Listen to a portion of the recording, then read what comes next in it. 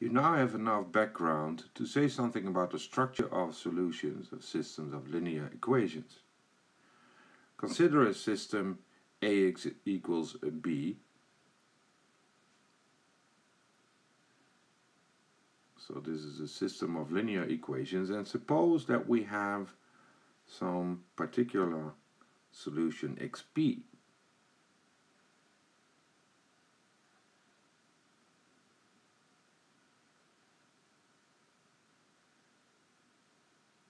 then we can build up all solutions using this xp and the kernel of A. Since x star represents a solution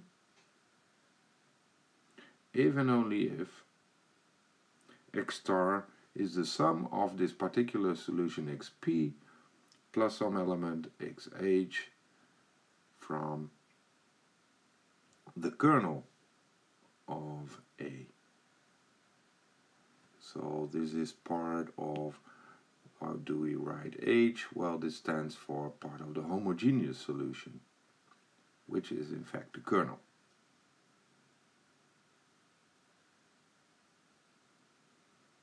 So this means that the solution of AX is B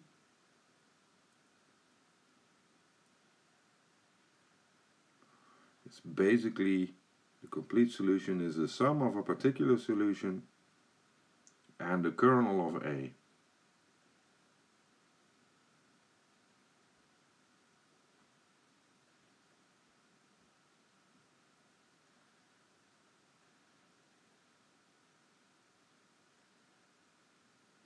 So we, the proof goes as follows. First, suppose that x star is a solution.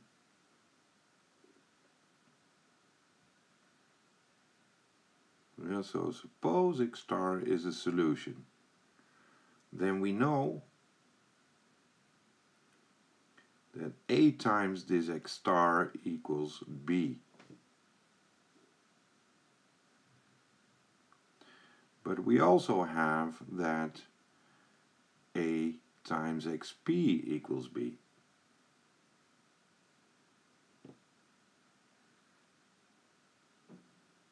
So now we combine these facts to show that a times the difference vector, the vector x star minus xp,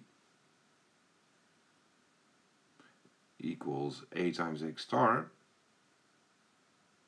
minus a times xp equals b minus b equals the zero vector.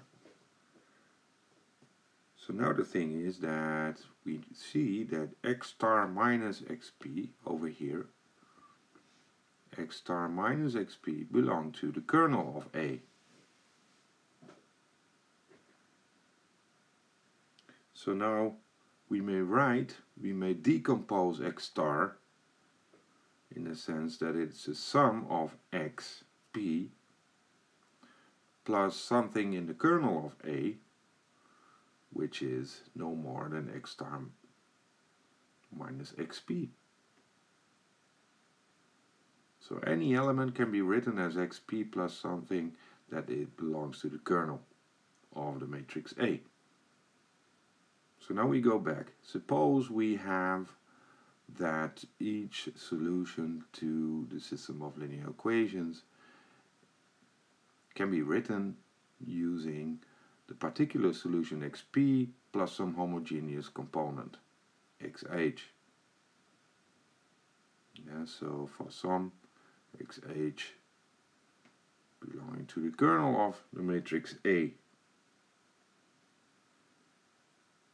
Well, then we just calculate A times x star, which equals A times xp plus xh.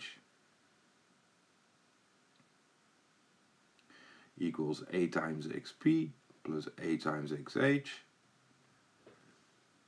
Well, we know that a times xh belongs to xh belongs to the kernel, so this yields 0. axp equals b, so what we finally get is just a vector b.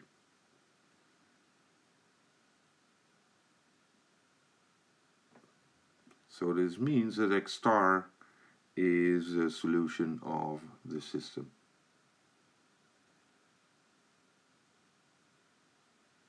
So now we're done.